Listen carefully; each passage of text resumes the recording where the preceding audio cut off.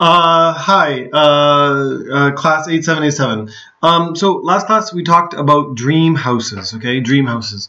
Um, uh, there's a, quite a few things we talked about. We talked about uh, the difference between cottages and cabins. We talked about the difference between verandas and balconies and patios. Um, definitely patios different than the other two.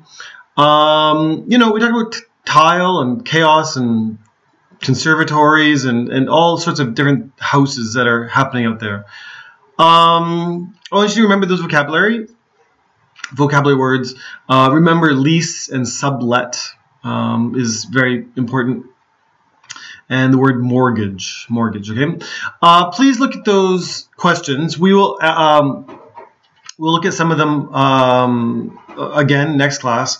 Uh, you can also do the grammar I gave you. Um, the grammar is to do with the third conditional.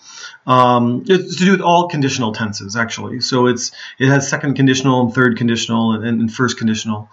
Um, so try to see the differences there. Uh, these are very different for for English speakers. Okay, uh, and if you have time, you can start to look at the the the level seven, the chapter seven, chapter seven of the book. Okay, um, it has um, uh, more kind of uh, unreal conditional sentences. Okay, okay. Uh, see you soon. Take care. Goodbye.